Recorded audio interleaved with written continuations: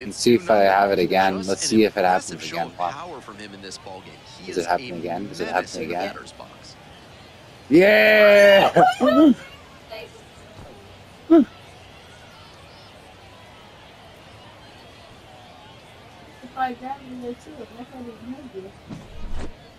That's a good job to be aggressive in the box after watching him closely on the mound. Once you've got his timing down, it's a lot easier to give a strong, confident